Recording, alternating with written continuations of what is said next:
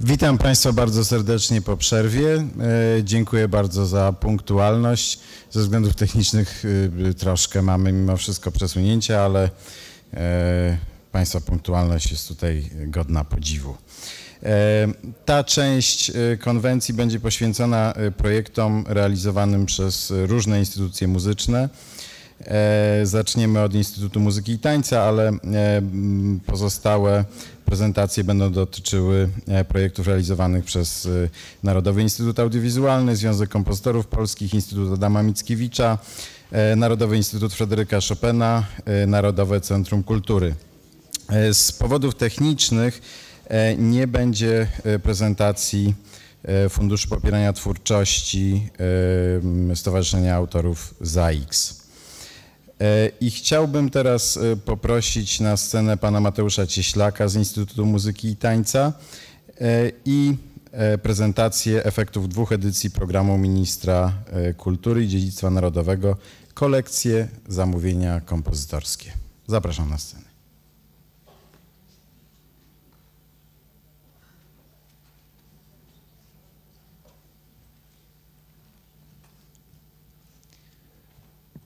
Szanowni Państwo, kolekcje zamówienia kompozytorskie to jest moim zdaniem jeden z najbardziej innowacyjnych programów ministra promujących polską muzykę najnowszą.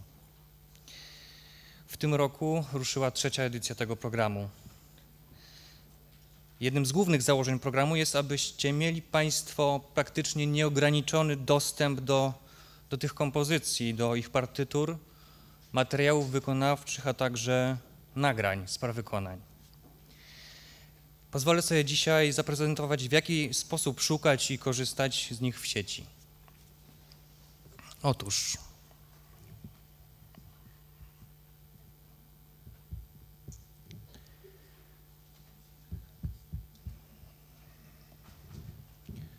Wchodzimy na stronę Instytutu Muzyki i Tańca, może od początku. Przechodzimy do zakładki materiały. Przechodzimy do zakładki Wykonaj.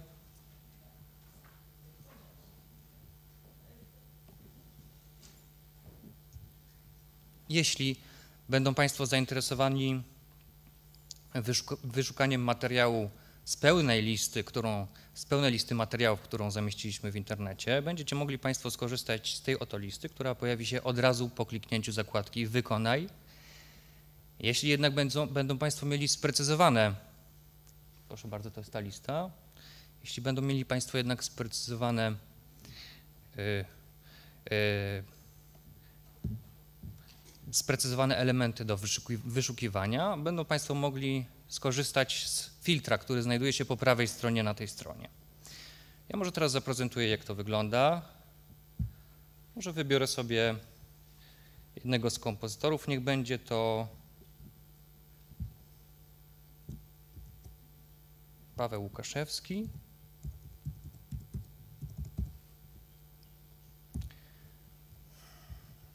Jak Państwo widzą, mamy tutaj również inne elementy do wyszukiwania, takie jak kategoria. E, w najbliższym czasie ta wyszukiwarka będzie uzupełniona o, e, o możliwość wyszukiwania poprzez kategorię dzieła, czy e, rozmiar obsady dzieła, jak, jak również inne elementy. Spróbujmy wyszukać sobie tego kompozytora. Okazuje się, że mamy dwa dzieła tego kompozytora.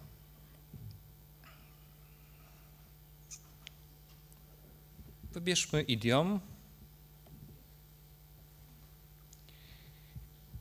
I w tej chwili pojawia, pojawia nam się pełna lista metadanych dotyczących tego dzieła, tego konkretnego dzieła.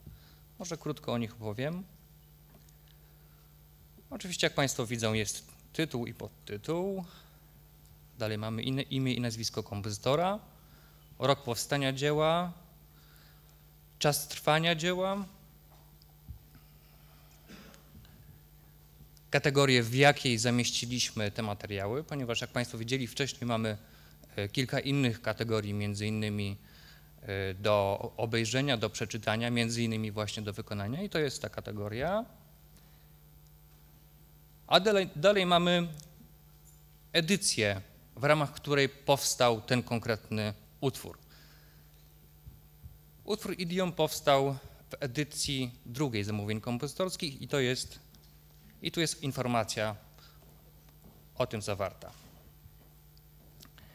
Kolejną informacją, jaką mamy, to jest data zamieszczenia materiałów w sieci. To jest bardzo ważne ze względu na to, że od momentu zamieszczenia tych materiałów w sieci będą one dostępne za darmo do pobrania przez kolejne dwa lata.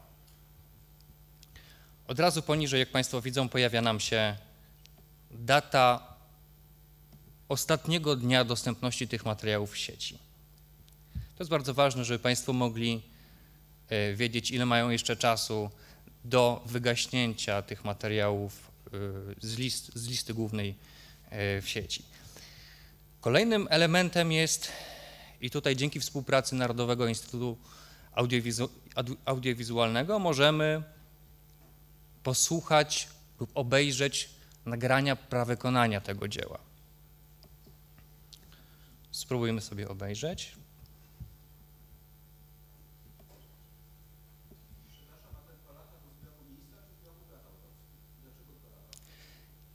Tak określa umowa licencyjna.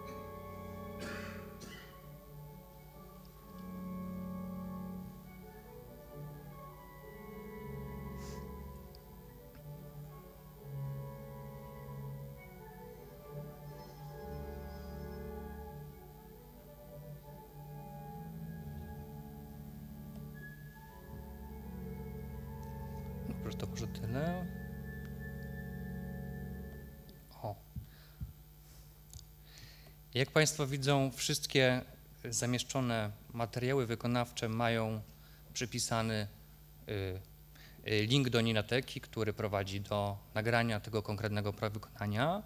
Tutaj może też się chwilkę zatrzymam na tej stronie. Mamy tutaj krótką metrykę dotyczącą, e, dotyczącą utworu również opis tego utworu oraz y, krótki biogram kompozytora. Jeśli będą chcieli Państwo wyszukać innych utworów poprzez, y, poprzez y, materiały audiowizualne bądź audialne, jest taka też możliwość. Wystarczy zjechać sobie na dół strony i tu jest taki przycisk zamówienia kompozytorskie MKIDN. Wystarczy przycisnąć ten przycisk i pojawiają się nam wszystkie do tej pory zamieszczone nagrania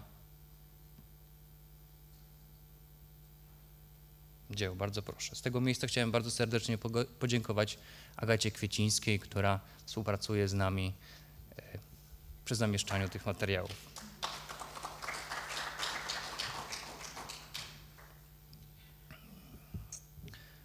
Wróćmy do naszych materiałów. Kolejnym elementem jest biogram kompozytora. Otóż możecie sobie Państwo przeczytać bardzo szczegółowe informacje dzięki współpracy z Polskim e, Centrum Informacji Muzycznej. Możecie sobie Państwo przeczytać informacje o każdym z tych kompozytorów, zarówno w wersji polskiej, jak i w wersji angielskiej.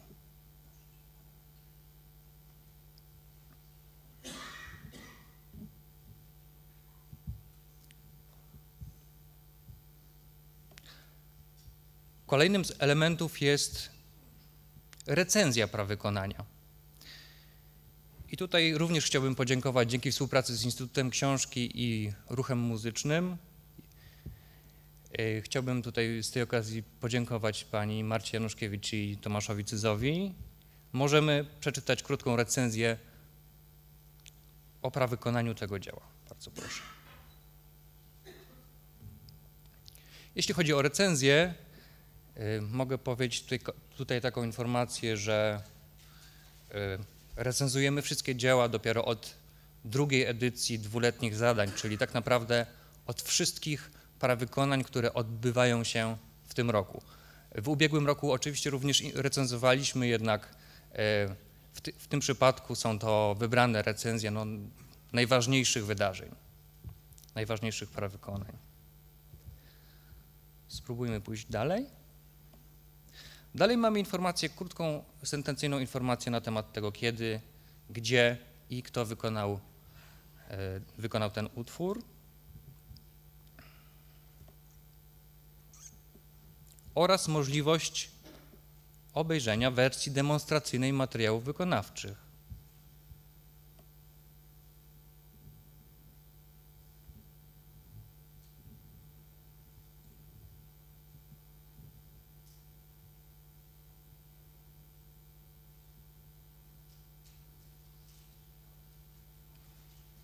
To są takie dwie strony. Strona tytułowa partytury oraz pierwsza strona tekstu muzycznego. Jeśli poczują się Państwo zachęceni do wykonania bądź obejrzenia całej partytury tego utworu, będziemy musieli się zarejestrować, co trwa tak naprawdę góra dwie minuty. Ja już jestem zarejestrowany, więc spróbuję się zalogować.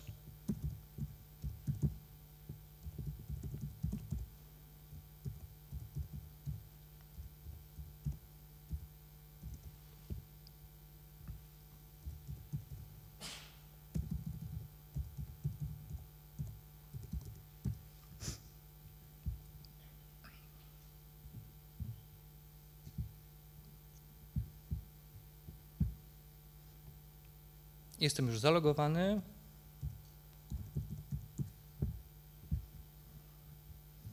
Spróbuję ponownie wy, wyszukać tego utworu.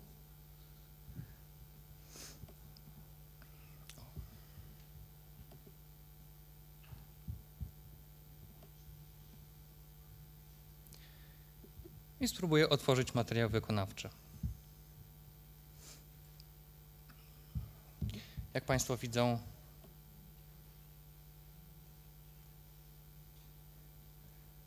Tutaj mamy już dostęp do pełnej partytury utworu. Dojadę do końca, żeby było widać, że jest koniec.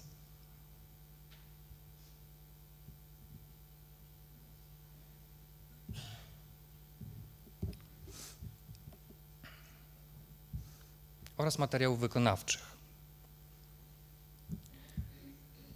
W tym momencie chciałem powiedzieć dwie istotne kwestie, między innymi tą, że jeśli utwór zawiera w sobie jakiś element elektroniczny, taśmę, y, takie materiały wykonawcze, to będą te elementy zawarte właśnie w tym folderze skompresowanym. A drugą informacją jest to, że o ile, o może tu otworzę,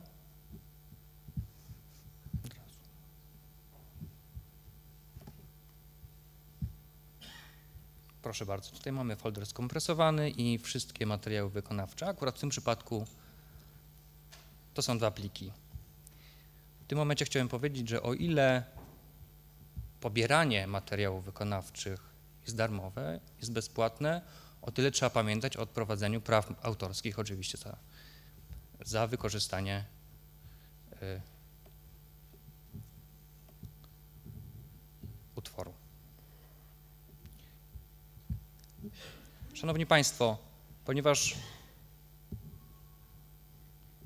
chcielibyśmy się rozszerzyć, y, że tak powiem, geograficznie, y, strona dostępna jest w dwóch wersjach językowych, również w wersji angielskiej. Y, Każdy element materiałów wykonawczych, jeśli to są na przykład objaśnienia wykonawcze zawarte na drugiej stronie informacyjnej, in- informacyjnej są tłumaczone na język angielski. Także jeśli będą Państwo chcieli y, zachęcić Państwa znajomych z zagranicy do korzystania z, y, z materiałów, jest to bardzo, bardzo łatwe i możliwe również. Szanowni Państwo, chciałem serdecznie z tego miejsca zachęcić Państwa do korzystania z tej strony, do odwiedzania jej.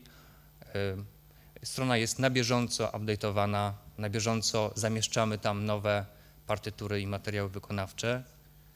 Chciałem też Państwa poprosić o- to, żebyście Państwo przekazywali informacje o możliwości korzystania z tych materiałów zarówno kolegom tutaj na miejscu, jak i za granicą. Dziękuję serdecznie.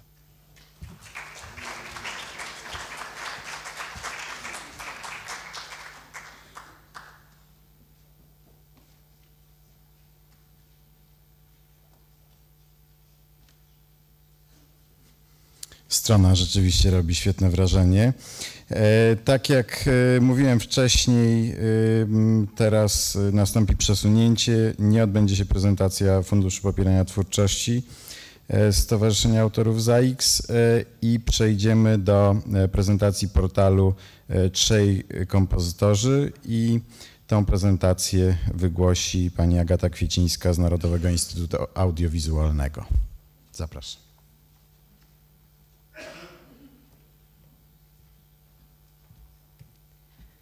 Dzień dobry, witam Państwa bardzo serdecznie. Dziękuję za miłe słowa pod e, adresem e, mojej osoby, ale rozumiem, że całego Instytutu i Ninateki, jak Państwo widzieli, współpraca między instytucjami e, na polu powstawania nowych projektów muzycznych czy też kolekcji internetowych jest zaawansowana i tak też jest w wypadku zakładki trzej kompozytorzy.pl.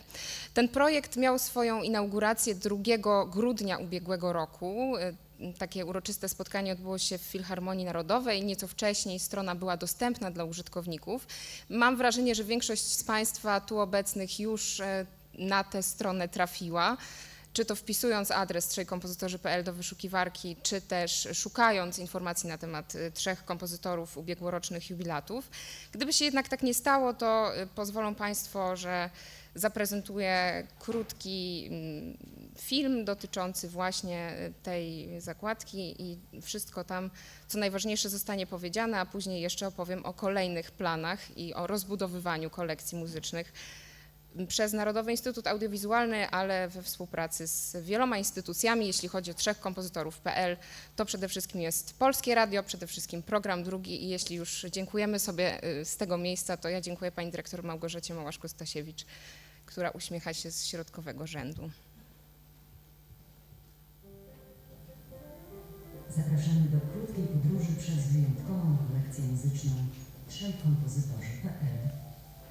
To pionierski w skali światowej projekt przygotowany w 2013 roku przez Narodowy Instytut Audiowizualny z okazji jubileuszy Witolda Witosławskiego, Henryka Mikołaja Góreckiego i Krzysztofa Pendereckiego.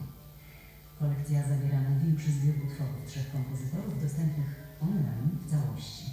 To syntetyczny przewodnik po muzyce mistrzów dostosowany do potrzeb zarówno wykształconego muzycznie użytkownika, jak i każdego odbiorcy zainteresowanego polską kulturą.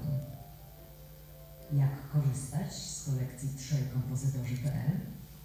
Starannie wyselekcjonowane nagrania są opatrzone opisami dotyczącymi genezy czy okoliczności powstania danego utworu, przygotowanymi przez zespół ekspertów, naukowców, znawców muzyki i melomanów. Informacje te są dostępne w różnych formach. Zanim przejdziemy dalej, proponuję zmienić utwór. Dzięki temu odtwarzaczowi możesz niezależnie odtwarzać muzykę w tle.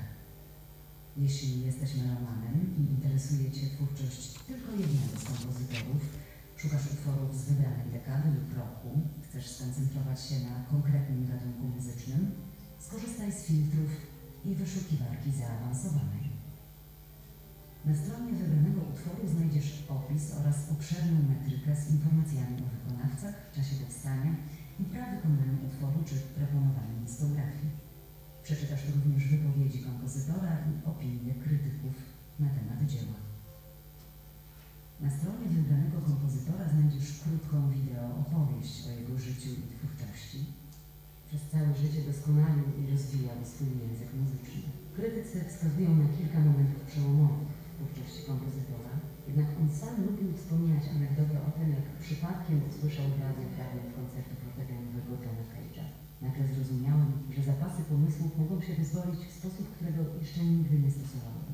Przerwałem wszystko, co w tym czasie było na warsztacie i zacząłem pisać gry Znajdziesz jego muzykę, biografię, oś czasu oraz alfabet. Wybierając oś czasu możesz zobaczyć, czym w konkretnych latach zajmował się kompozytor oraz obejrzeć wydarzenia z jego życia na tle innych wydarzeń w Polsce i na świecie. Każdy z kompozytorów oznaczony jest innym kolorem, więc łatwo zorientujesz się, które wydarzenia dotyczą danej postaci. Klikając w nazwisko wybranego kompozytora zobaczysz tylko wydarzenia z nim związane. Wybierając alfabet możesz znaleźć ciekawostki związane z twórczością i życiem prywatnym wybranego kompozytora, oraz oczywiście posłuchać utworów powiązanych z danym hasłem. nasze ulubione playlisty. Jeśli nie jesteś znawcą muzyki i dopiero poznajesz twórczość mistrzów, skorzystaj z playlist przygotowanych przez znanych muzyków, dziennikarzy muzycznych, kompozytorów, dyrygentów, muzykologów i ludzi bliskich kompozytorom. Obejrzyj wideo, gdzie przedstawiają swój ranking ulubionych utworów i kliknij przycisk po prawej stronie, by ich posłuchać. Właśnie ta płyta góralskiego, której ja szukam już od roku. Pytam się, ile kosztuje ta płyta. No płyta kosztowała 38 groszy, a piwo wtedy kosztowało 5 tysięcy złotych. Natomiast ja miałem to poproszę wszystkie, jakie są. One były akurat tutaj egzemplarza, no i kupiłem, no rzeczywiście to była płyta, którą jak zdarłem jedną, to, to na szczęście miałem tą drugą. Serwis powstał głównie w oparciu o materiały pochodzące z archiwum Polskiego Radia, które zostały zdigitalizowane na zlecenie Narodowego Instytutu Audiowizualnego w ramach programu wieloletniego Kultura Plus Priorytet Digitalizacja. Zapraszamy do oglądania i słuchania. Życzymy miłego odbioru. Życzymy Państwu tego miłego odbioru y, już od pół roku mniej więcej. Co ważne, ta kolekcja wciąż się powiększa i tak także dzięki współpracy z Polskim Radiem od dwóch tygodni można już słuchać y, Kyrie Henryka Mikołaja Góreckiego. Jak Państwo wiedzą, ta kompozycja na chór, fortepian i orkiestrę została prawykonana w poniedziałek wielkanocny, a więc trzy tygodnie temu. Jest już dostępna w serwisie trzejkompozytorzy.pl, jest też dostępna w Ninatece, czyli tym dużym worku, w którym znajdziemy też e, worku, ale który ma różne filtry, więc można uporządkować to, co tam się znajduje. To, to co powstaje dzięki programowi zamówień kompozytorskich. Myślę, że portal trzejkompozytorzy.pl jest y, ja w jakiś sposób próbą odpowiedzi na postulat, który pan prezes Jerzy Kornowicz podniósł tutaj w swoim wystąpieniu, y, udostępnianiu legalnym y, nagrań muzyki polskiej. Oczywiście to jest proces długi i żmudny, proces czyszczenia praw, proces przygotowywania tych materiałów w takiej formie, by użytkownicy czuli się komfortowo i mogli się mm, w tym gąszczu propozycji odnaleźć, ale faktycznie w portalu trzejkompozytorzy.pl muzyki jest bardzo dużo. To jest ponad 300 mm, utworów i aż 380 opisów, bo jak Państwo wiedzą, niektóre utwory albo jeszcze nie zostały nagrane. No, w przypadku trzech kompozytorów to właściwie się nie zdarza, ale czasem nie udało się pozyskać praw. Czekamy na nagranie czwartej symfonii Henryka Mikołaja Góreckiego, ale już opis w serwisie trzejkompozytorzy.pl można znaleźć. Redaktorem tego serwisu y, była pani Iwona Lindstedt, która nadal współpracuje z Narodowym Instytutem Audiowizualnym i nie robimy tutaj żadnej przerwy. Powstają kolejne kolekcje i myślę, że to, co będzie się działo w kolejnych latach, może być też i mamy taką nadzieję przykładem wzorowej współpracy między różnymi instytucjami i nie mówię tego dlatego, by tutaj podnosić nam wszystkim dobre samopoczucie, ale program, e, programy Instytutu Muzyki i Tańca i innych instytucji będą skorelowane z działaniami NINA.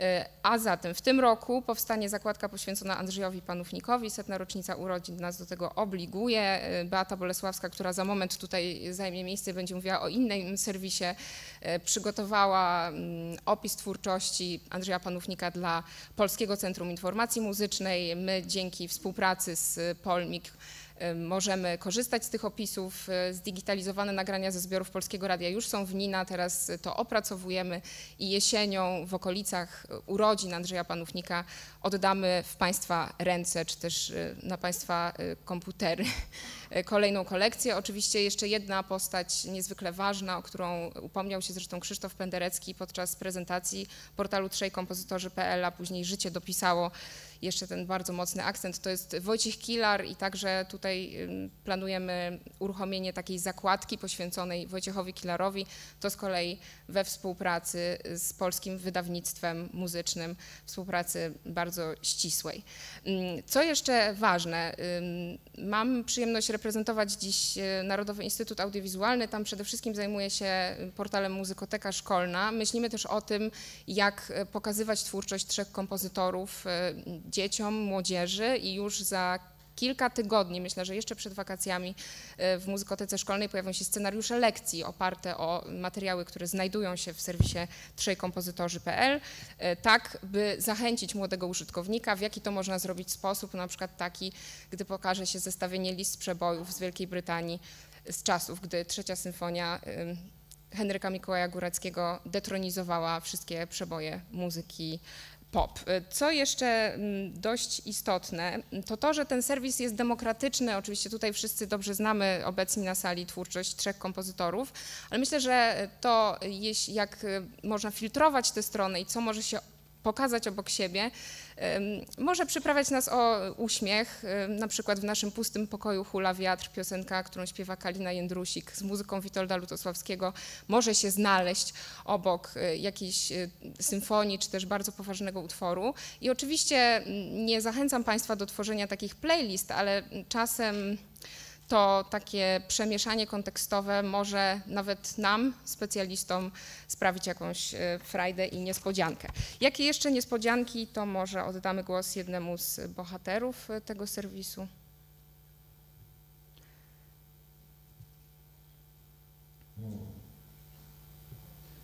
Ja myślę, że najłatwiej się słucha tej muzyki, która była mm, użyta w. Taką ciekawostką jest też nagranie e, trzech utworów na skrzypce i fortepian Krzysztofa Pendereckiego. A Są takie utwory, które ja zapomniałem, ale dowiedziałem się, że nagranie jest. w którym to nagraniu Penderecki gra na fortepianie.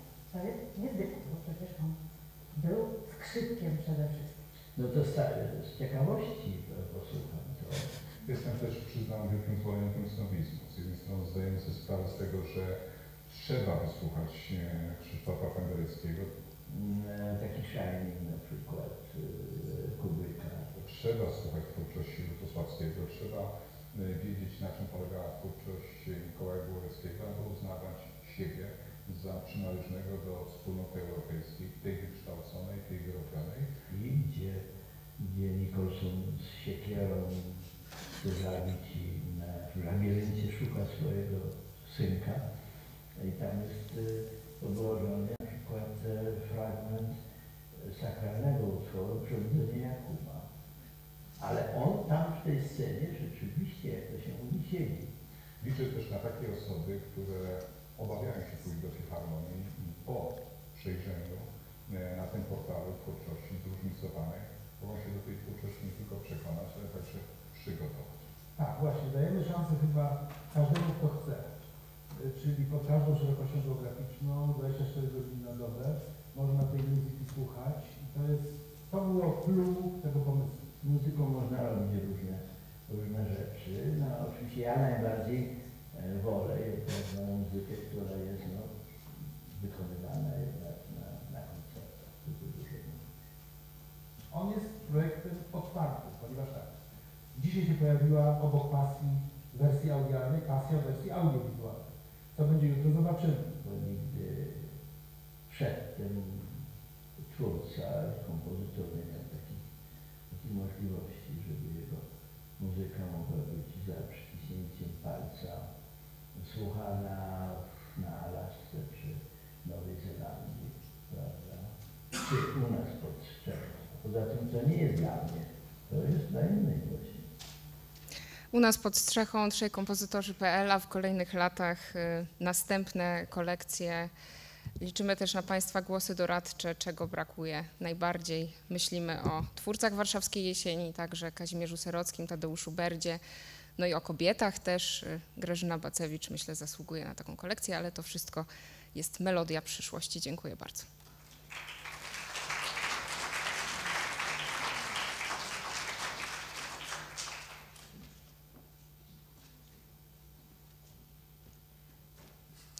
Dziękuję bardzo za tą prezentację. Y, y, Rzeczywiście bardzo ciekawa. Muszę nadrobić zaległość i e, bliżej przyjrzeć się tym portalom. Kontynuujemy temat.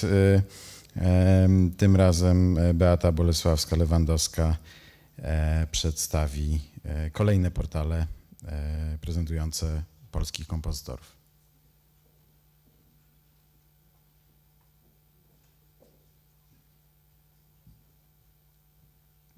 Dzień dobry, witam Państwa serdecznie.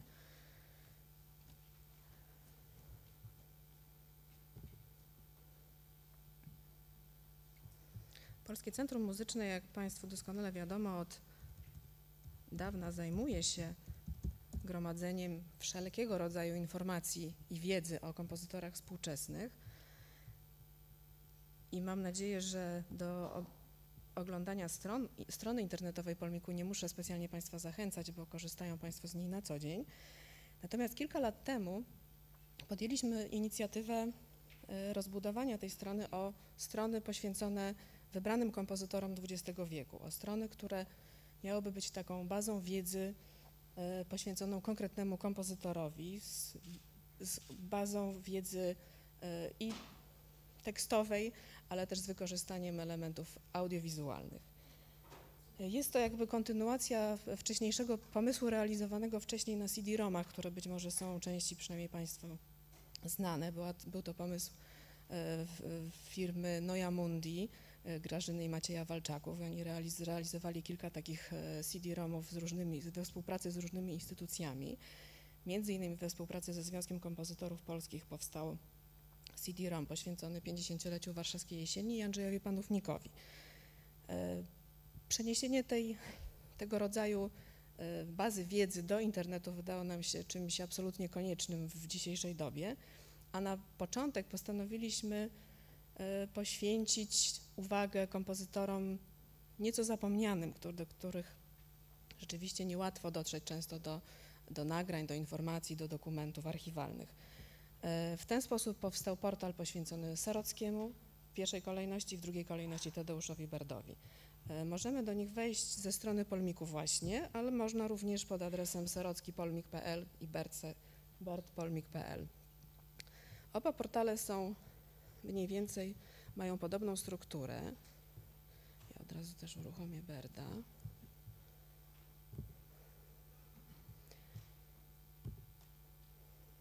Któ- na którą składa się, jak Państwo widzą, część biograficzna. Są to dokładnie opisane kolejne etapy życia kompozytora, ubarwiane, jak Państwo mogą zobaczyć, zdjęciami, często również wypowiedziami i samego Tadeusza Berda w tym przypadku. Może odtworzymy fragmencik.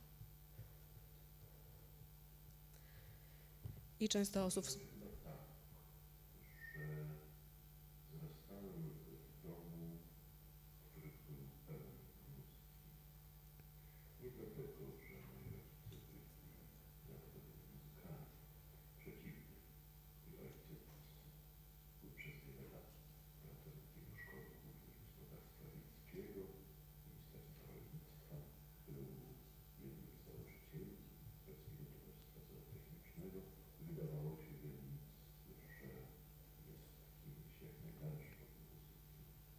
Niemniej muzyka stanowiła jakąś rzeczywistą wewnętrzną potrzebę życiowego zapracowanego człowieka i doszedł do biegłości, umiejętności, poziomu, który bardzo przekracza to, co zwykle się mianem muzycznego amatorstwa. Myślę, że to jest też dużą wartością, że możemy posłuchać głosu Berda, możemy go również tutaj zobaczyć we fragmentach filmowych. Znacznie trudniej y, jest w przypadku Kazimierza Sarockiego, który po prostu nie udzielał wywiadów i właściwie nie zachowały się praktycznie żadne fragmenty z jego y, wypowiedzi. Y, Tak to wyg- tak wygląda mniej więcej część biograficzna. Oczywiście nie będę tutaj pokazywać po kolei wszystkich rozdziałów. E, Dodatkowo, dodatkowym elementem jest kalendarium, w którym, e, jeżeli ktoś potrzebuje zwartych, szybkich informacji, każda dekada rozpisana jest na najważniejsze wydarzenia z życia kompozytora, często także z tłem takim ogólnokulturowym, powiedzmy. Staramy się oczywiście, aby te teksty były ubarwione w naj, jak najciekawszy sposób zdjęciami czy materiałami e, dokumentującymi życie kompozytora. E, Drugi ważny dział to oczywiście twórczość. I tutaj również twórczość e, w przeciwieństwie do, znaczy jest pewna część wspólna właśnie z portalem, z portalami realizowanymi przez Ninę. To są omówienia utworów. Tutaj rzeczywiście możemy w kategorii omówienia utworów znaleźć omówienie do, opis każdego utworu, również fragmenty audio i również fragmenty nut. To oczywiście dzięki, e, dzięki współpracy z Polskim Wydawnictwem Muzycznym, dzięki fragmenty pochodzą przede wszystkim z nagrań i Związku Kompozytorów Polskich i Polskiego Radia. Je sobie odtworzyć w wersji audio.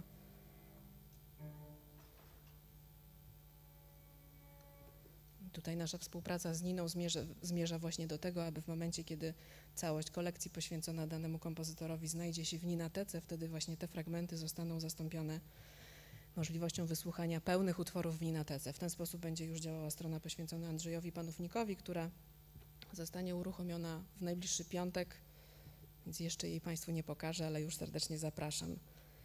Y, Jeżeli chodzi o twórczość, to również y, tutaj są teksty omawiające poszczególne czy etapy twórczości, czy, czy, czy ważne elementy stylu kompozytorskiego. Kolejnym elementem istotnym, myślę bardzo, jest możliwość wysłuchania wybranego utworu w całości z możliwością śledzenia partytury.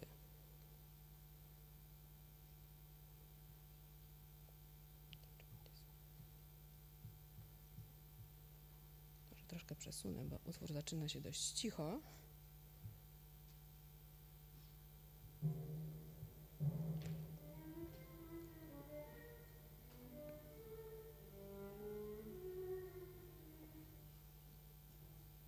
Mm, tak, tak.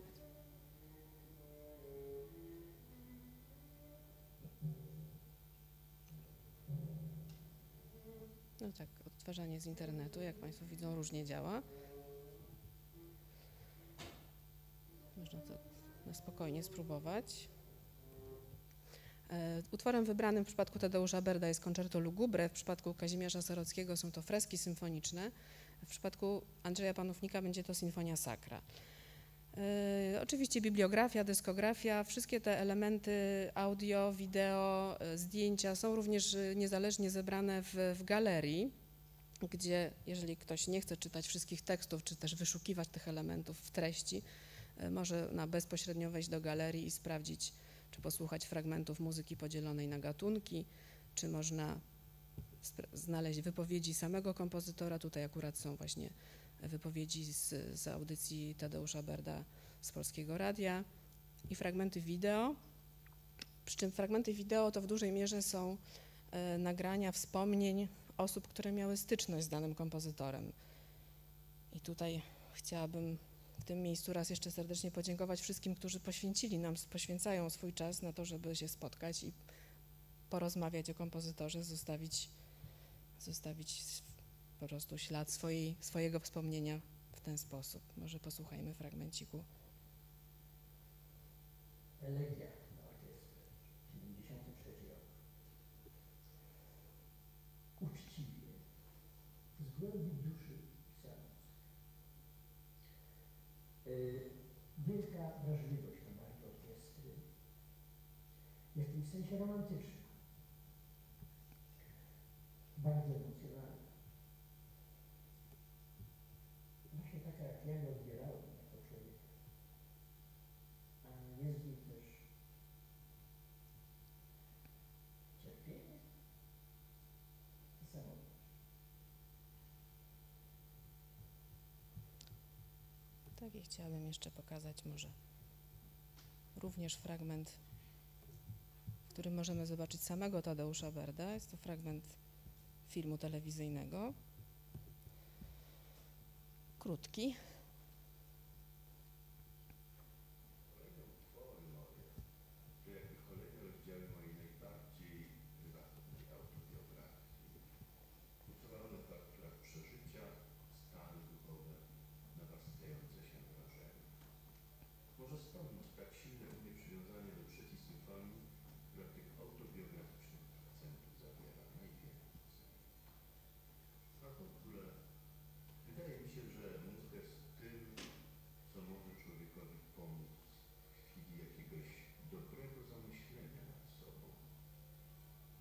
Nastąpił już chwilę jakiegoś czystego, bezinteresownego wzruszenia. A z biegiem lat przekonujemy się, że w życiu najlepsze są te momenty, kiedy człowiek może się wzruszyć czymś pięknym, przejmującym.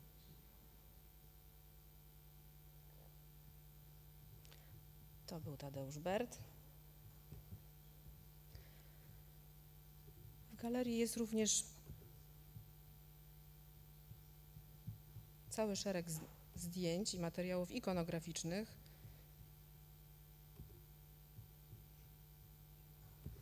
Ponieważ zdjęcia to nie tylko same zdjęcia, ale również rękopisy, partytury drukowane, portrety, dyplomy, nagrody, dokumenty, teksty często. Tutaj w przypadku Tadeusza Berda również teksty dotyczące jakichś jego zapisków związanych z muzyką, film, z muzyką czy filmową, czy teatralną.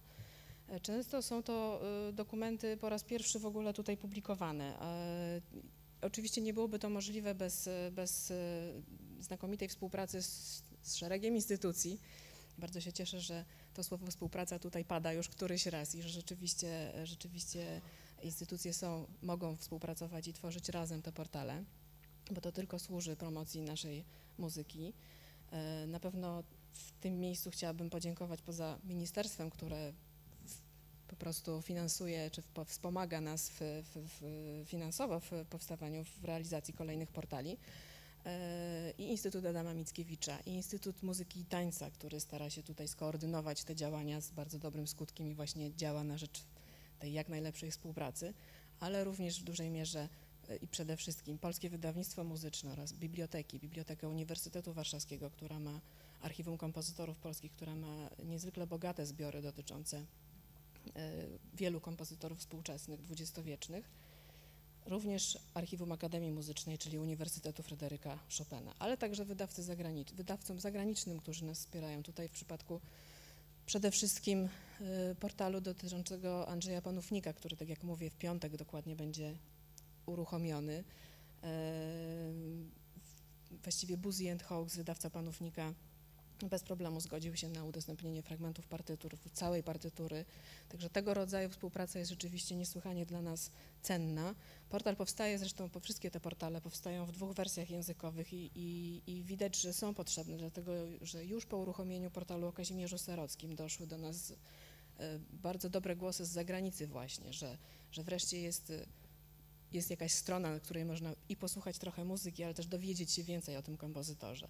I na tym właśnie najbardziej nam zależy, na tym, żeby przypominać informacje i wiedzę przede wszystkim o tych kompozytorach, o których my sami często gdzieś tam niby pamiętamy, ale wcale nie za wiele o nich wiemy i też e, często trudno jest do, dotrzeć do dokumentów. Tutaj przede wszystkim w przypadku Kazimierza Sorockiego była to rzeczywiście pionierska właściwie praca e, autorki, czyli Iwony Lindstedt, która tutaj pisała teksty. E, co zresztą będzie miało swój ciąg dalszy, ponieważ w tej chwili wiem, że pracuję nad monografią życia i twórczości Kazimierza Serockiego, co jakby tym bardziej nas cieszy, że, że te portale nie są jakąś oderwaną, jakimś oderwanym bytem, tylko e, mają swój ciąg dalszy tu i tam. E, tutaj w przypadku zresztą staramy się rzeczywiście, jeżeli chodzi o teksty, zapraszać uznanych autorów do współpracy. Teksty do portalu o Tadeuszu Berdzie pisała Barbara Literska, autorka monografii. Teksty do portalu o Andrzeju Panówniku są mojego autorstwa, a pracujemy w tej chwili również na portalu, nad portalem poświęconym Tomaszowi Sikorskiemu. I tutaj z kolei zaprosiliśmy do współpracy młodego muzykologa Tomasza Piotrowskiego, który od kilku lat bardzo dogłębnie bada i śledzi zarówno twórczość Tomasza Sikorskiego, jak i jego życie. Także już teraz serdecznie Państwa zapraszam i na piątkową prezentację portalu Andrzeju Panówniku o godzinie 16.30 w Polskim Wydawnictwie Muzycznym. Zapraszam do korzystania e, z obu wersji językowych portalu o Serockim i o Tadeuszu Berdzie, a we wrześniu już pewną tradycją stało się, że w pierwszy dzień warszawskiej jesieni właśnie uruchamiamy kolejny polmikowski portal i to będzie portal o Tomaszu Sikorskim.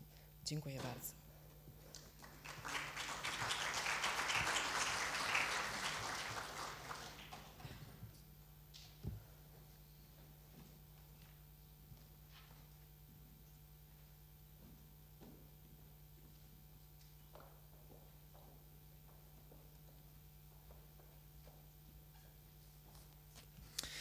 To bardzo cieszy, że wielkie białe plamy, które dotychczas e, gościły w internecie, e, jakby pomijając e, wielkich polskich kompozytorów, w tej chwili są zapełniane. I bardzo cieszy to, że dzieje się to we współpracy tak ważnych instytucji jak Polskie Radio, NINA, Związek Kompozytorów Polskich, Instytut Muzyki i Tańca. Mam nadzieję, że nie pominąłem żadnej z ważnych instytucji. To a i oczywiście też Instytut Adama Mickiewicza.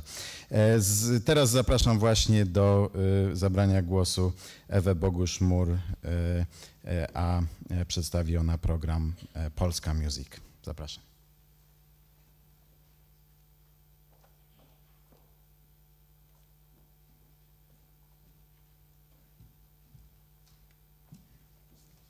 Witam Państwa bardzo serdecznie. E, ok. Momencie, tylko znajdę prezentację.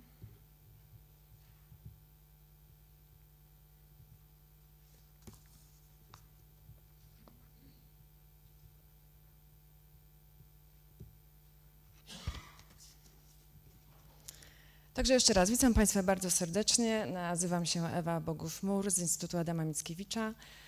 E, przedstawię Państwu program Polska Music. Również opowiem o naszych trzech latach działalności i o planach na przyszłość.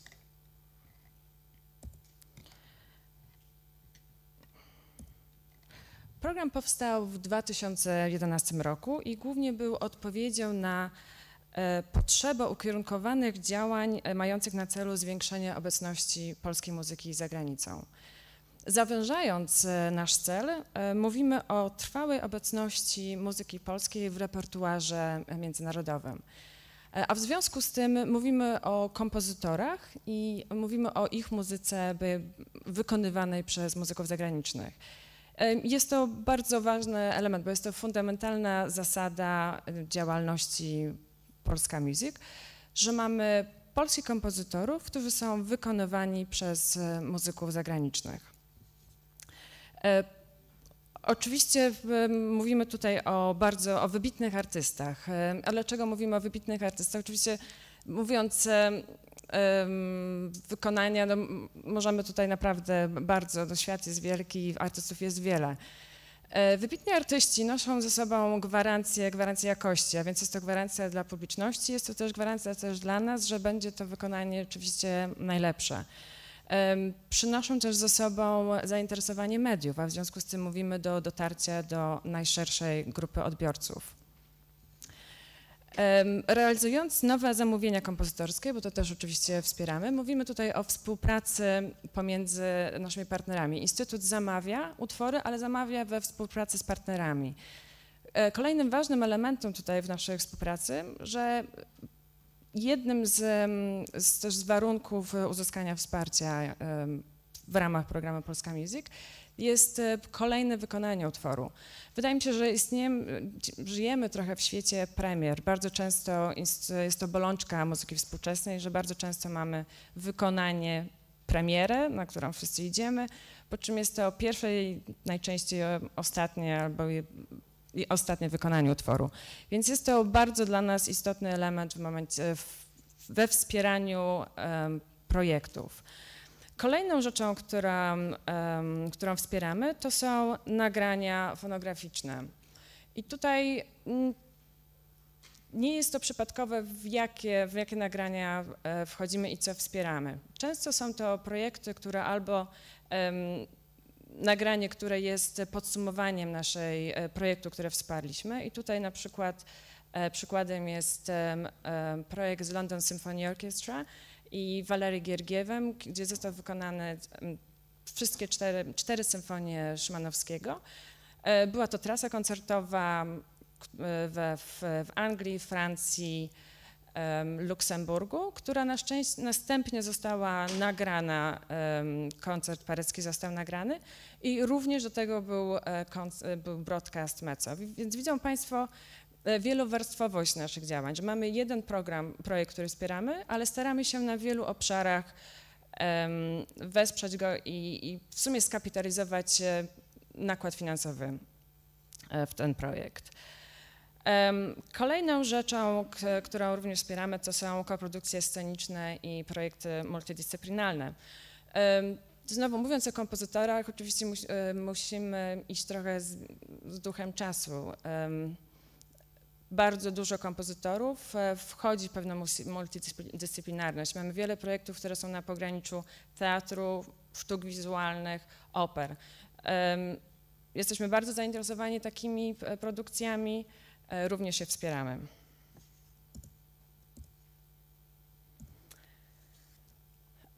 Tak jak wspomniałam, w 2011 program został powołany i przez te trzy lata możemy się pochwalić um, liczbami, które tutaj Państwo mają przed sobą, więc nie będę ich e, po kolei e, czytać, ale z, z projektów, które, które warte są zauważenia i odnotowania, to oczywiście projekt, który wspomniałam, London Symphony Orchestra, również projekt, który robiliśmy w ramach roku Lutosławskiego Woven Awards, był to projekt z Philharmonia Orchestra z, e, z, z SOP.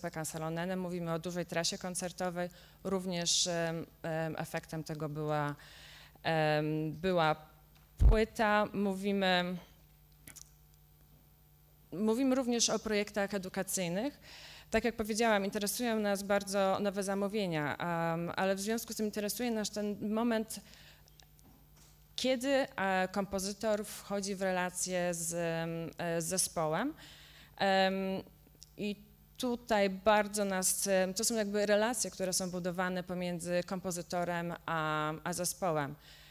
Jednym z takich projektów jest na przykład Klang Forum Wien i Agata Zubel, projekt, który, relację, prawdę mówiąc, którą wspieramy od roku 2011 E, kiedy po raz pierwszy został zamówiony utwór e, i wykonany przez Klang for Wien w roku 2011 na Sacrum Profanum. E, obecnie mamy w tym roku, możemy się pochwalić, płytę, która została, została wydana przez Kairos. Agaty płyta w wykonaniu Klang Forum Wien i również na, na, kolejne lata pracujemy nad um, operą, która została zamówiona również w tym połączeniu Klang Forum Wien Agata Zubel. Więc widzą Państwo też tą długofalowość um, naszych projektów. Tutaj mają Państwo listę um, partnerów, z którymi współpracujemy. E, I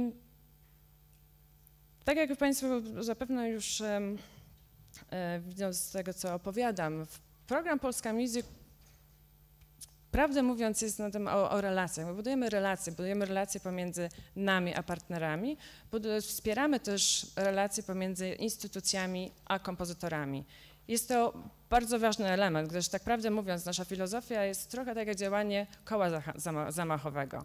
Chodzi nam o inicjowanie pewnych, pewnych aktywności, po to i w nadziei, że ten nasz pierwszy zastrzyk finansowy, oczywiście zastrzyk też merytoryczny, bo Instytut, tutaj nasza rola często jest też e, merytoryczna, to my jesteśmy tym pierwszym kontaktem, pierwszą twarzą e, i informacją, co się dzieje w Polsce.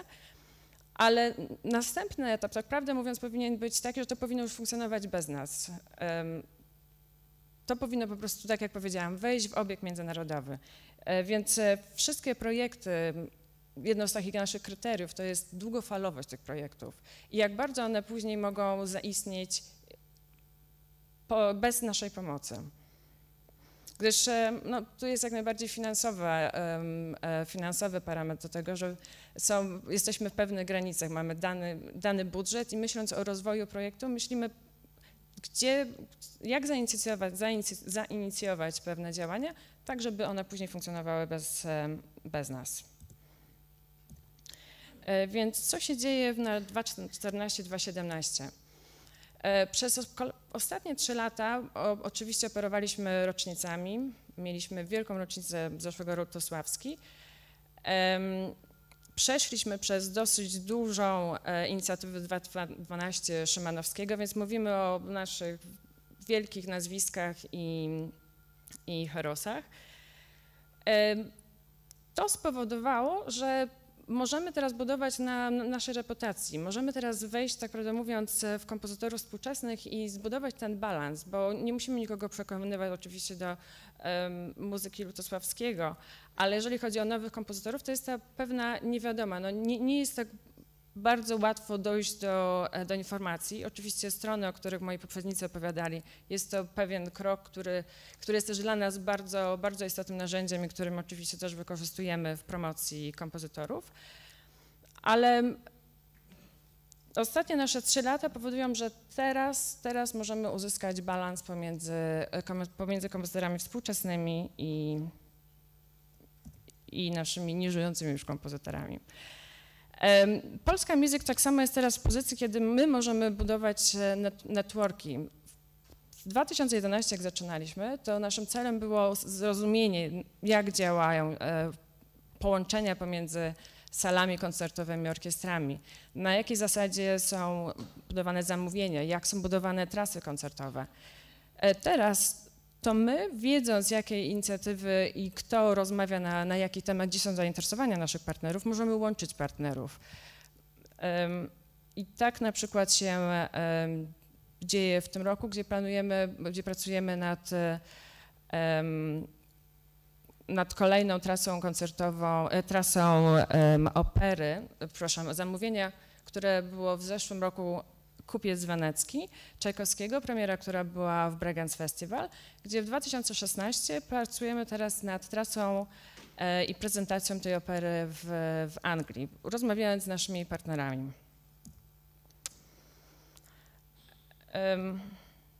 Monitorowanie działań wpływowych ośrodków muzycznych. Tutaj um, mówimy pewne, o pewnej falowości i um, i pewnych odpływach zainteresowań. Rocznice oczywiście są, świetnym elementem na to, żeby rozpocząć i przedstawić twórczość e, kompozytorów. Ale rocznice też mają to do siebie, że są wielką prezentacją w jednym roku, ale przez kolejne lata może się nic nie zdarzyć na ten temat, bo wszyscy są zmęczeni tematem.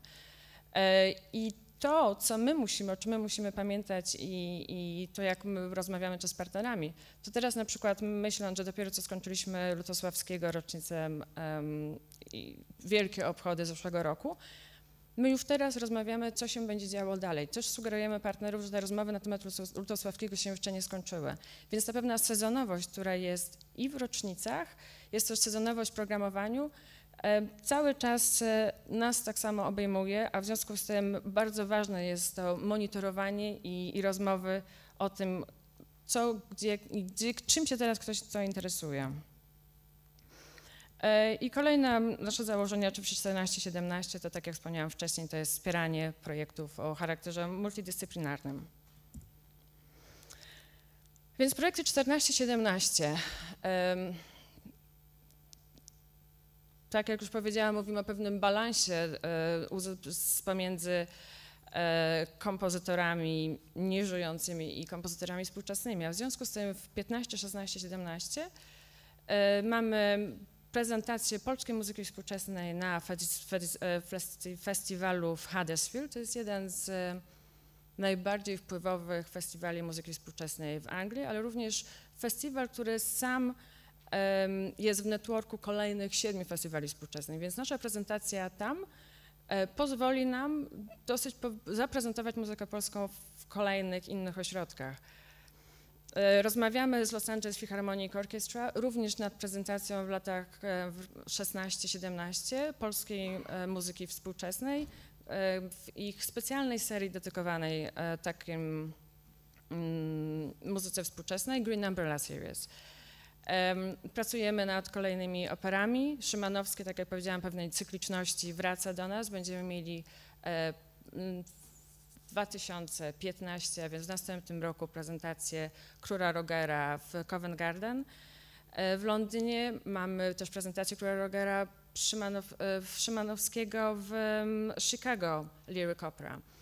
Więc też widzą Państwo pewną, oczywiście jesteśmy wszędzie, ale na całym świecie, ale z drugiej strony nie, nie możemy być wszędzie, więc jest to pewien, pewien absurd. Działamy, Polska Music działa też um, kapitalizując inne działania Instytutu, a w związku z tym bardzo często pojawiamy się tam, gdzie się właśnie kończą roki polskie i nie bez przyczyny, tak prawdę mówiąc, 2011 i 2012 Polska Music była bardzo aktywna e, w Wielkiej Brytanii, gdyż było to pokłosie e, roku Polska Jer Wielkiej Brytanii. E, Więc e, w następnych la- latach na pewno będą Państwo nas coraz więcej widzieć e, w Turcji, gdyż w tym roku kończy, jest rok Turcji. Będą nas Państwo widzieć w Stanach Zjednoczonych. Jest to projekt kampusu, który również prowadzi Instytut. Również na naszej mapie strategicznej są, są Niemcy. I to tyle. Bardzo dziękuję. Jeżeli Państwo by mieli jakieś pytania, zapraszam w kuluarach. Dziękuję bardzo. Do widzenia.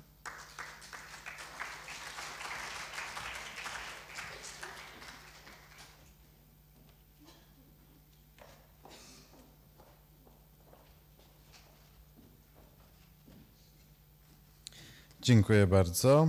E, Teraz chciałbym e, poprosić e, pana dyrektora Artura Szklenera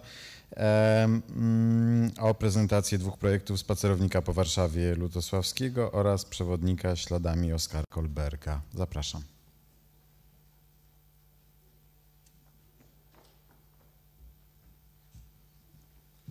Dziękuję bardzo. Zanim przejdę do już takiej trochę bardziej szczegółowej prezentacji, to chciałem powiedzieć jedno słowo, jedną glosę, mianowicie, co prawda na dopiero dziewiątym slajdzie się pojawi słowo współpraca, ale to jest słowo, które jest w tle całej tej prezentacji. Znaczy, między innymi, czy głównie dlatego um, ustaliliśmy z Andrzejem Kosowskim, że zaprezentujemy te projekty, żeby pokazać po pierwsze ich potencjał, a po drugie, żeby pokazać, że bez współpracy jest niemożliwe praktycznie dla żadnej z naszych instytucji przygotowanie choćby jednego z nich. Drugi, drugi komentarz jest taki, że ponieważ w, w, w, międzyczasie, kiedy podłączaliśmy technicznie urządzenia, wyszło na to, że prezentacja na żywo może się okazać wcale nie taka atrakcyjna dla Państwa, więc szybko pomyślałem, że trochę zmienię plany i, i pod, podbuduje się podstawowym narzędziem wszystkich naukowców, czyli YouTube.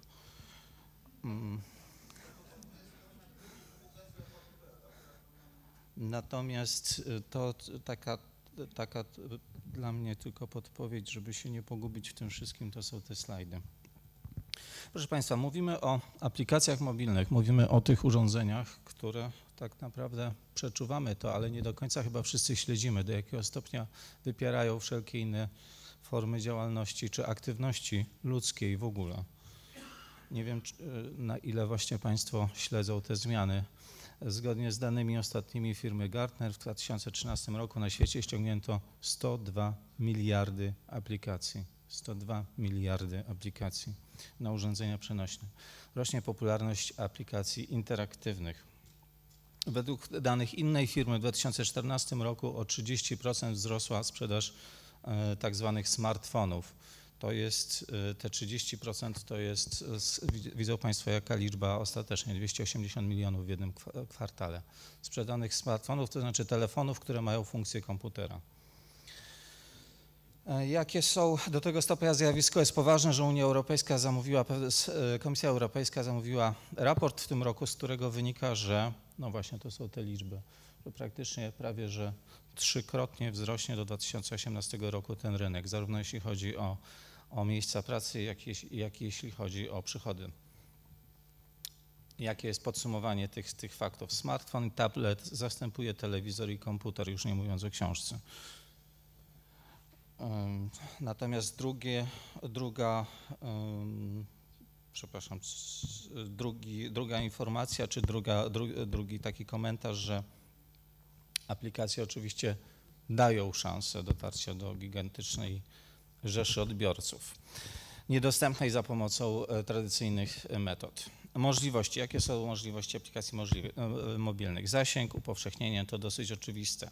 Dalej, synteza różnych aspektów w jednej aplikacji, to znaczy przekazywanie wiedzy, multimedia, no to jest dosyć oczywiste dla sztuki, ale musimy pamiętać, że multimedia to również możliwość czytania, czyli tak zwanego audiobooku. Wreszcie multimedia dla nas, dla muzyki, to już najbardziej podstawowa sprawa. Te urządzenia dzięki jakości przekazywania dźwięku zastępują już w tej chwili nie tyle magnetofon, co bardziej odtwarzacz CD.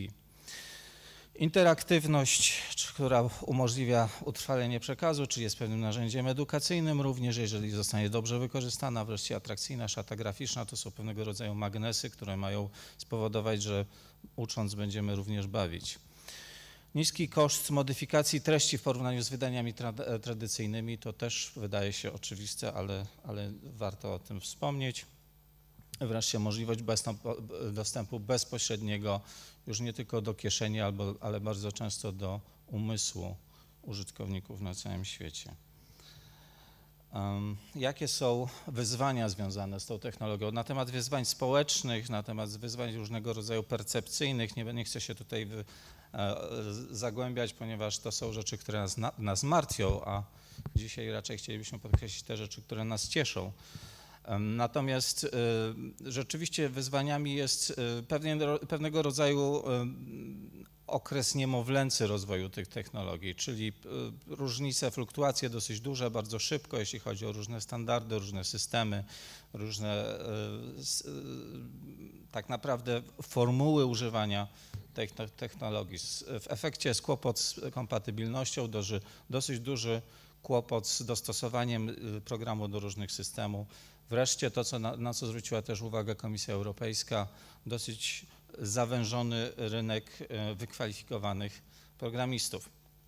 W efekcie mamy do czynienia z potencjalnie dużymi kosztami wytworzenia aplikacji, duże koszty po stronie e, technicznej, zanim w ogóle jakikolwiek program zostanie stworzony. A już jak, jest, jak zostanie stworzony, to jeszcze trzeba go utrzymywać, ponieważ, ponieważ to jest kwestia dostępu online, serwisów itd. Tak itd. Tak Wreszcie szum informacyjny. Jeżeli spośród 102 miliardów aplikacji ściąganych mamy y, chęć, czy chcielibyśmy, naszym celem jest, żeby zostać zauważony, no to znowu wracamy do tego, że, że reklama dźwignią handlu, nawet jeżeli aplikacja jest darmowa. I ostatnie, lecz bardzo ważny e, element, mianowicie pewnego rodzaju bariera wobec nowych technologii u naszych najbardziej tradycyjnych, najbardziej wiernych odbiorców. I wielokrotnie e, podkreślane aspekty e, konieczności pewnego rodzaju przynajmniej dostosowywania czy przekazywania podobnych treści za pomocą mediów tradycyjnych, po to, żeby osoby, które chodzą tradycyjnie na koncert czy czytają książki, również mogły mieć możliwość do dostępu do tej informacji. Teraz jak powstały te dwa projekty, o których mówię już szczegółowo? Staraliśmy się po pierwsze e, e, przeanalizować potrzeby, a po drugie przeanalizować możliwości nowych technologii. W Instytucie Fryderyka Chopina od dosyć dawna prowadzony był projekt przewodnikowy, to była, to była mm, książka najpierw Mazowsze Chopina, później Polska Chopina, tłumaczona na wiele języków, rodzaj bestsellera, w sumie wydana w kilkunastu tysiącach egzemplarzy we wszystkich językach. To, to jeśli chodzi o publikacje książkowe, to jak Państwo wiedzą, jest bardzo duży sukces. Z drugiej strony sam bardzo oczywiste e, skojarzenie, iż e, e, potrzeba publikacji przewodnikowej w pewnym sensie z tym nowym medium może być połączona. Dlaczego? Dlatego, że można rozszerzyć treści multimedialne, można rozszerzyć funkcjonalność o mapę i o mm, lokalizację, czyli tak zwany GPS. Przewodniki są zatem syntezą publikacji popularno-naukowych, przewodnika turystycznego oraz mapy połączonej z nawigacją. Wreszcie przewodniki, te obydwa, obydwie aplikacje można korzystać z nich w różny sposób, niezależnie od miejsca, czyli tak jak książkę, rodzaj audiobooka, w momencie planowania już bardzo konkretnego e, przejścia, czyli tak jak klasyczny przewodnik i wreszcie po znalezieniu się w pobliżu miejsca, czyli w tym momencie aplikacja działa jak nawigacja z elementami przewodnika. Teraz przedstawię może obydwie aplikacje, chociaż wydaje mi się, że większość z Państwa je zna i jeśli Państwo pozwolą, to, to, to włączę film o jednej z nich mianowicie o przewodniku, o spacerowniku warszawskim Witolda śladami Witolda Lutosławskiego. Dosyć dobrze się one pozycjonują. Wystarczy, że wpiszemy Lutosławski aplikacja i już nam się pojawi strona na ten temat. Tak, stworzyliśmy, jeśli chodzi o aplikację autorsławską, specjalną, dedykowaną stronę, w której jest ona również przedstawiona, ale zanim, zanim o tym, to spróbuję uruchomić prezentację. Mam nadzieję, że o, chyba jednak tempo tutaj jest, przekroczy Państwa cierpliwość, więc znowu YouTube.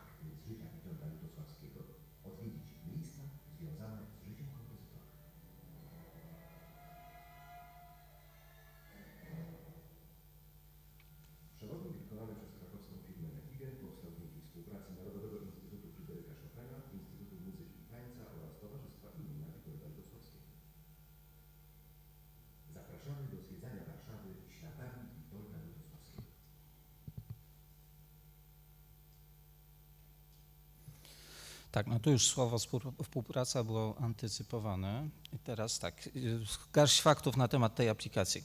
O, opisanych jest 56 miejsc w stolicy, już Państwo widzieli w jakich, y, jak połączone w trasy. To jest 120 stron tekstu o charakterze popularno-naukowym. Tu trzeba podkreślić rewelacyjny tekst pani Danuty Gwizdalanki. 284 zdjęcia, to jest, aby pokazać skalę przedsięwzięcia oraz 9 godzin nagrań lektora.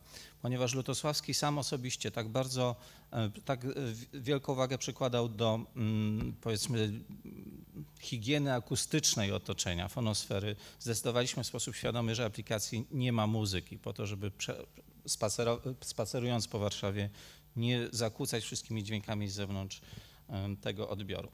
To była aplikacja, rodzaj, rodzaj takiego testu, case study, jak to po polsku można powiedzieć.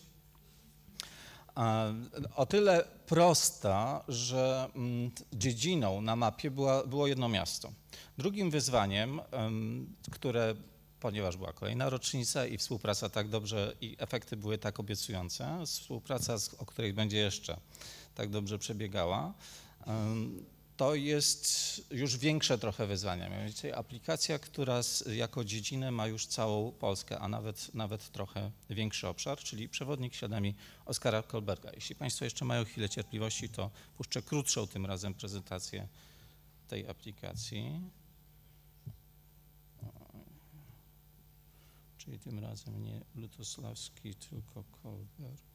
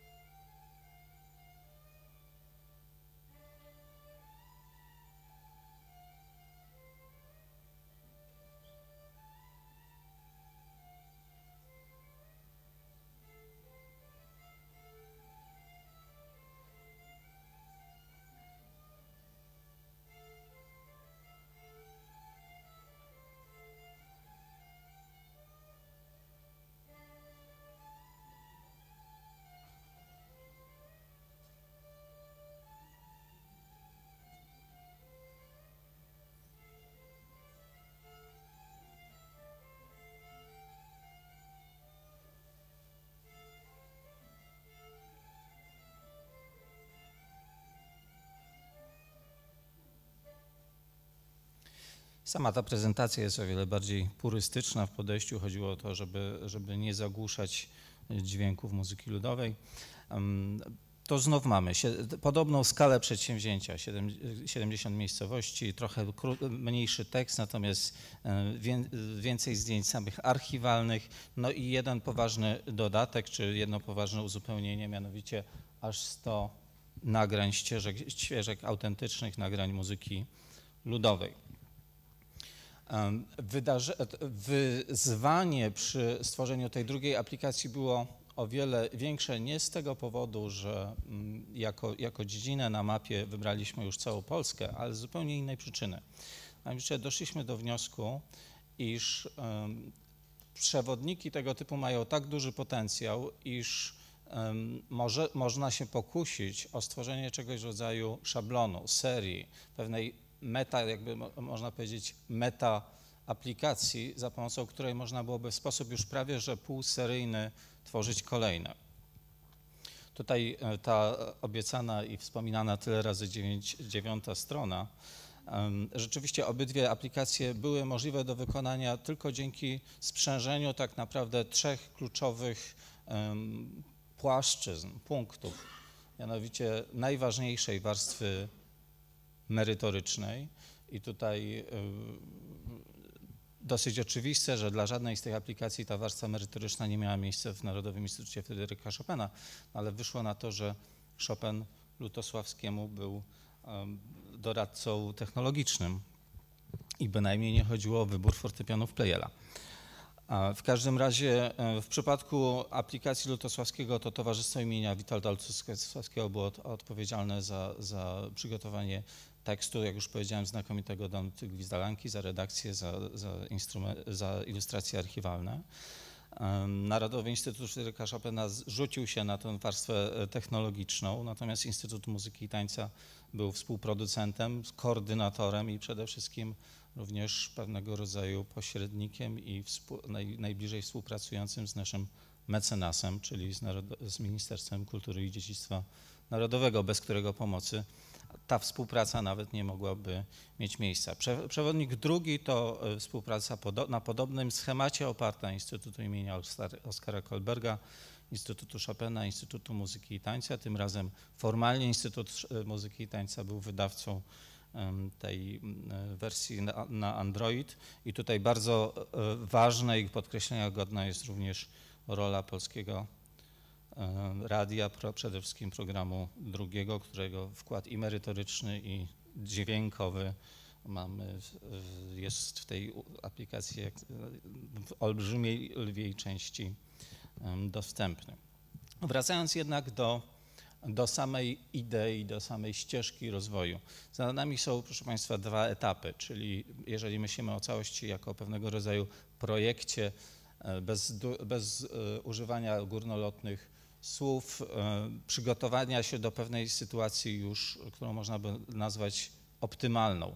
Etap pierwszy, czyli aplikacja pojedyncza, która de facto była stworzona sama dla siebie po to, żeby sprawdzić możliwości, również odbiór etap drugi zakończony to jest aplikacja e, bazująca na tak zwanym CMS, czyli na, na, na, takim e, szablonie e, treści, aby nie trzeba było programistów do tego, żeby dodać przecinek, żeby zmienić pewne elementy redakcyjne.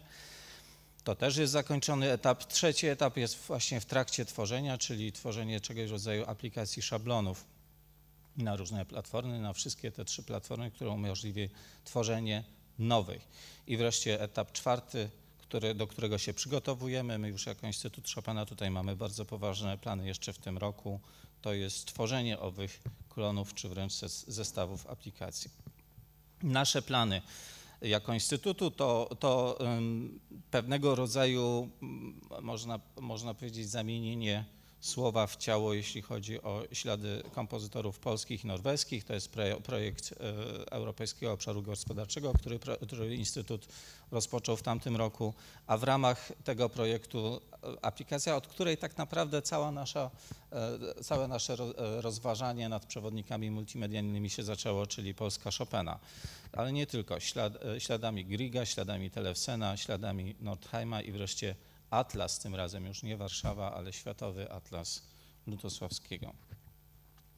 To przykład y, bardzo roboczych, ale już przymiarek, jak, jak interfejsy owych aplikacji mogły, mogą wyglądać.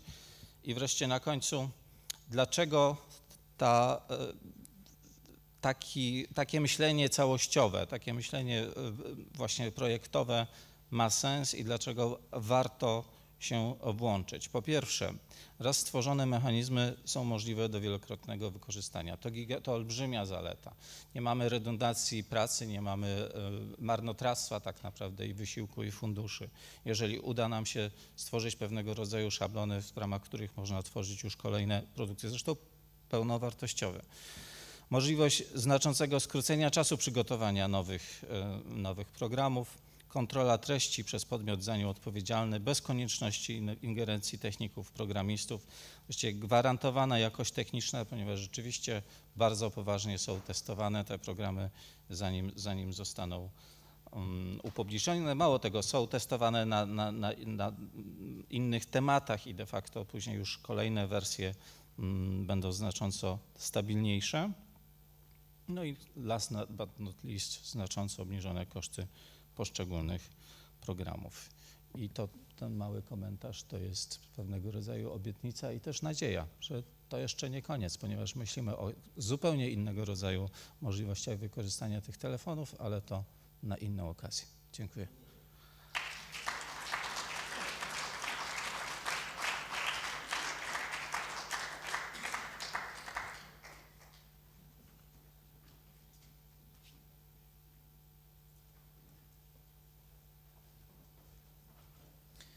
Dziękuję bardzo za prezentację i teraz czas na y, ostatnią prezentację w tym bloku. E, Pan Krzysztof Kur z Narodowego Centrum Kultury przedstawi prezentację Historia muzyki polskiej. Zapraszam.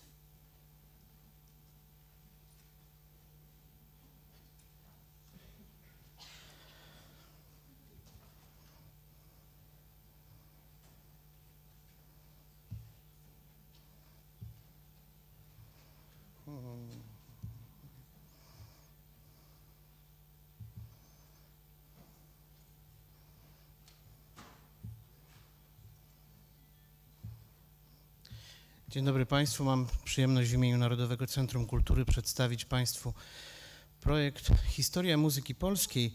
Chcę Państwu opowiedzieć o tym, o tej unikatowej serii wydawniczej i jak ona ewoluowała od publikacji tradycyjnej, papierowej, aż do mediów elektronicznych, e, czyli do e-booków, radia, internetu. E, ale zanim e, chcę powiedzieć o celu tej, e, tego projektu.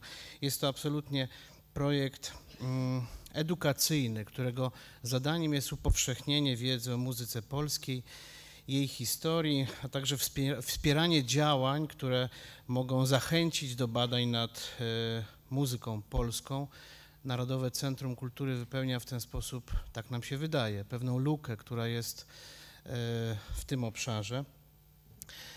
Żeby mówić o tym projekcie, muszę powiedzieć trochę o tym, jak on się urodził, bo tak naprawdę on urodził się kilkadziesiąt lat temu e, w głowach tych dwojga młodych wówczas ludzi, to jest przełom lat 70.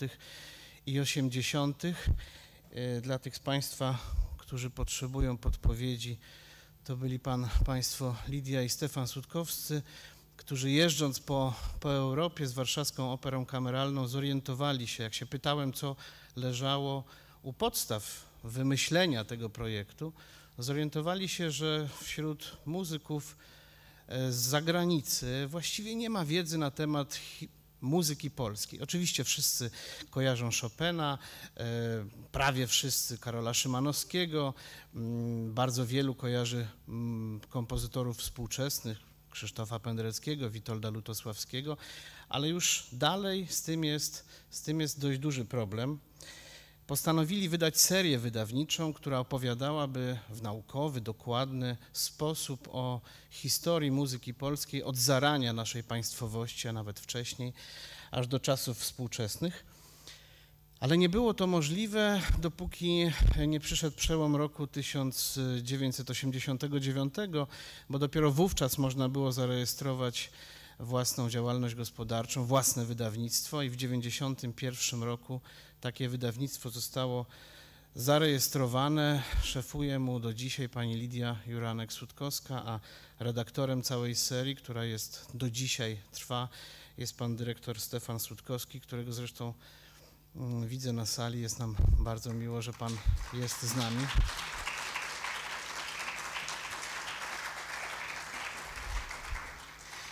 Tak jak widzicie Państwo, ten projekt w sensie formalnym powstał w roku 91 i teraz zaczyna się on kończyć. Zaczyna się kończyć w tej swojej pierwszej podstawowej edycji papierowej. E, w ciągu tych 23 lat wydawnictwo zamówiło u wybitnych polskich muzykologów 12 mm, tomów, które dość systemowo omawiają historię muzyki polskiej i muzyki tworzonej na ziemiach polskich przez kompozytorów, którzy tutaj przyjechali tutaj, e, tutaj żyli. Mm, tych 12 tomów to jest w sumie 6,5 tysiąca stron E, druku to są prace, które posłużyły do uzyskania tytułów naukowych twórcom, który, którzy je przygotowali. To były doktoraty, często habilitacje albo podstawa do nadania mm, tytułu profesora. Oprócz tych 12 tomów, które dla nas, dla Narodowego Centrum Kultury stały się podstawowe, były jeszcze trzy takie dodatkowe tomy opowiadające o pewnych wycinkach historii muzyki polskiej, czyli właśnie o Witoldzie Lutosławskim, o którym przed chwilą słyszeliśmy, o fortepianie polskim i o recytatywie liturgicznym. E, w ten sposób powstało wielkie, monumentalne dzieło e, książkowe w formie, w formie tradycyjnej. Chcę powiedzieć, że Narodowe Centrum Kultury przejęło tę e, taką podstawową, główną część tego wydawnictwa, czyli historię, która opowiada niejako e, okres po okresie, czyli te 12 tomów. E, pozyskaliśmy do nich prawa, ale tylko do wersji polskiej, bo to nas, e, że tak powiem, przede wszystkim interesuje. Jako ciekawostkę powiem, że kiedy rozmawiałem z państwem Sutkowskimi, powiedzieli, że na początku pomysł był taki, żeby wydać to tylko po angielsku, bo przecież w Polsce my to wszystko wiemy, więc może nie potrzeba, ale potem się okazało, że jednak potrzeba i to bardzo i po kolei te książki były wydawane w języku polskim, skoro po polsku powstawały, było to dużo prostsze. Narodowe Centrum Kultury zresztą pomagało przy wydaniu papierowej wersji kilku z tych książek. E, jeśli chodzi o te papierowe, e, o to papierowe wydanie, Narodowe Centrum Kultury podjęło taką akcję aby każda biblioteka szkoły muzycznej drugiego stopnia w Polsce, ale nie tylko, biblioteki niektóre miejskie, wojewódzkie, e, także inne instytucje kultury otrzymały za darmo ten e, pakiet e, książek papierowych i we wrześniu zeszłego roku prawie 170 takich pakietów rozesłaliśmy.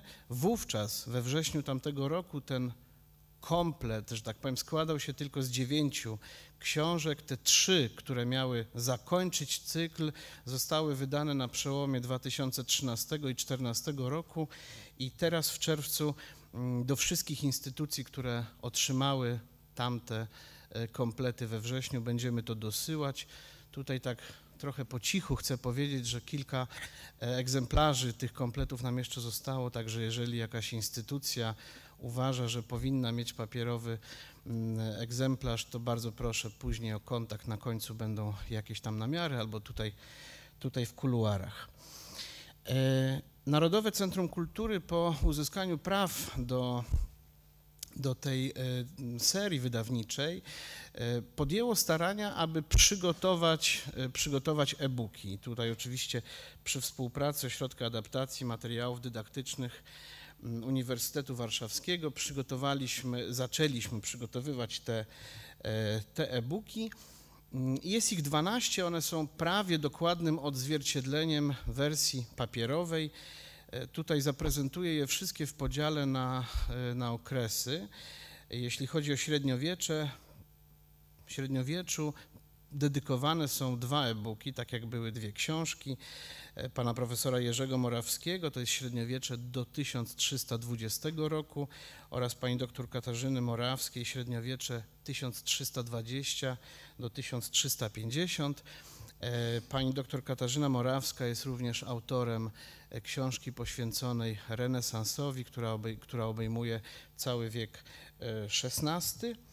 Następnie barok, również podzielony na dwa wydawnictwa, na dwa tomy. Pierwsza, pierwszy pani profesor Barbary Przybyszewskiej-Jarmińskiej i drugi pani Aliny Mądry, który jako e-book będzie dostępny od czerwca. Wszystkie pozostałe e, są już dostępne. Mm, można je pobierać z naszej strony e, w internecie. Klasycyzm e, to jest praca pani Aliny Nowak-Romanowicz i tutaj chcę powiedzieć, że to jest jedyna książka, która nie została niejako napisana na zamówienie wydawnictwa Sutkowski Edition Warsaw. Ta praca została napisana wcześniej, została zakupiona niejako e, prawa do niej na potrzeby tego wydawnictwa, choć wcześniej nigdy nie była publikowana. E, romantyzm to są trzy książki e, pani Zofii, profesor Zofii Hechlińskiej.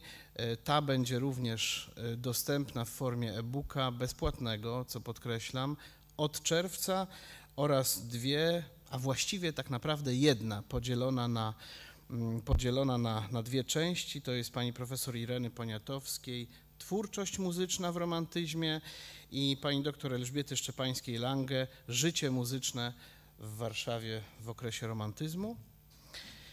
E, później pani profesor Zofia Hellman i książka, która omawia to, co działo się w muzyce pomiędzy romantyzmem a, a współczesnością.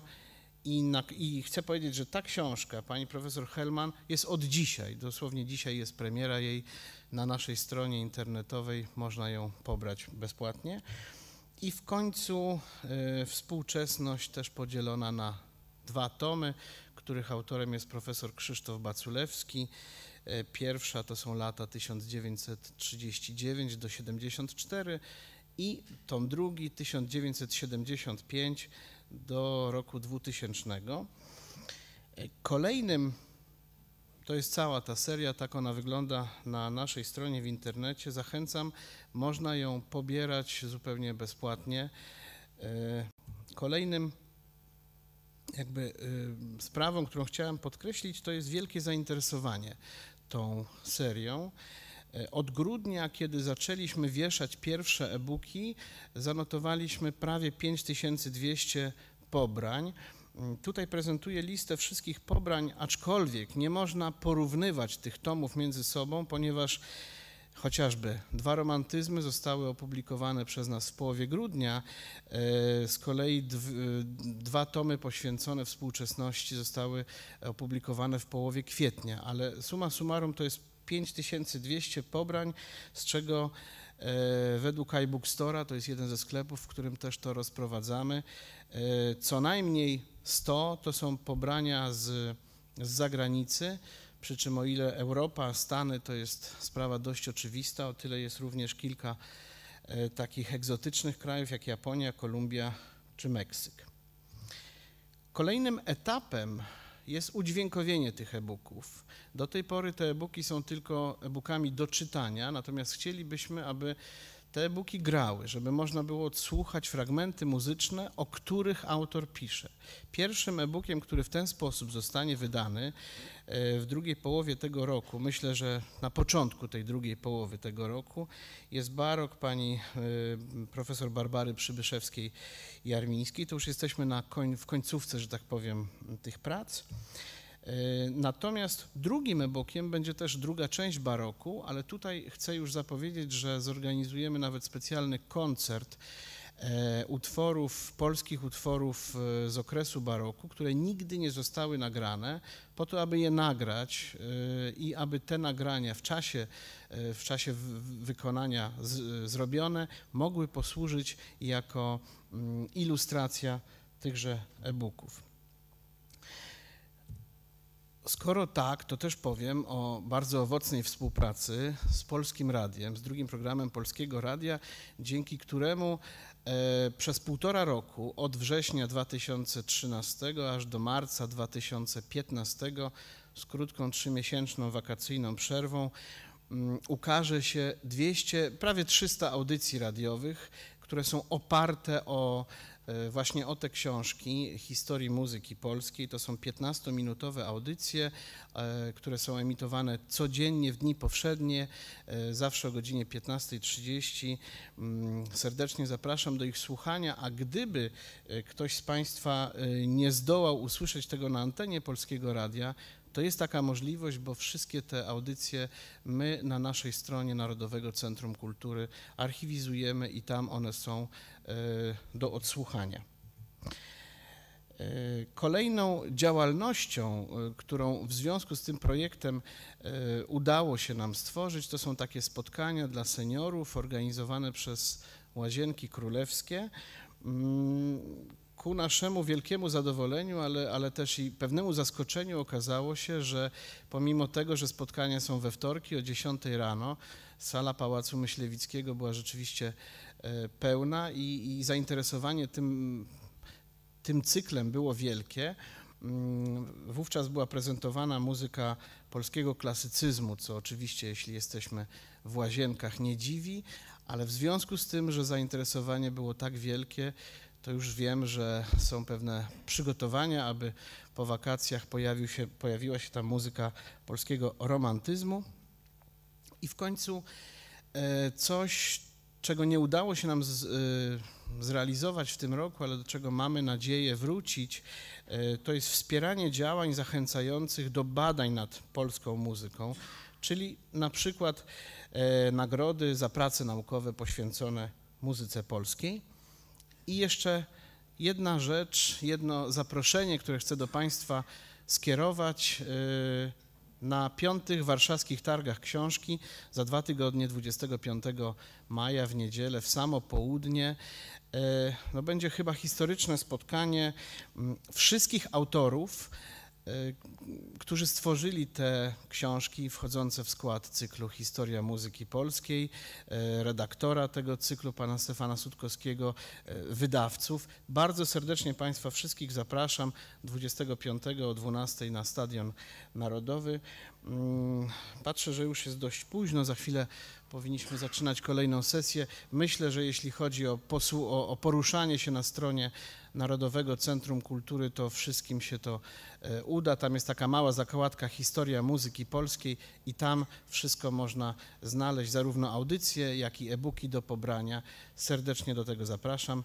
Jeżeli ktoś z Państwa miałby jakieś e, propozycje, pytania, cokolwiek, razem ze mną tym projektem zajmuje się Maciej Łukasz Gołębiowski. To są nasze namiary. Serdecznie dziękuję za uwagę.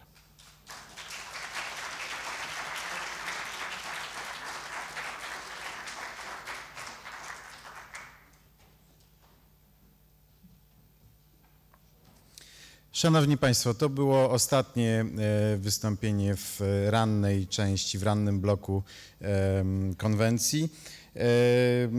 Kolejny blok rozpoczniemy o godzinie 15.15 .15 i będzie to prezentacja raportu o stanie tradycyjnej kultury muzycznej. Tą część poprowadzi pani Weronika Grozdew-Kołacińska. E, a chciałbym Państwa teraz zaprosić na półgodzinną przerwę obiadową. Chciałem na zakończenie dodać i podkreślić, że dwa słowa, które najczęściej padały e, w tym e, pierwszym bloku konwencji, to było słowo współpraca oraz dopowietrzanie. I myślę, że to dobre słowa. Dziękuję bardzo.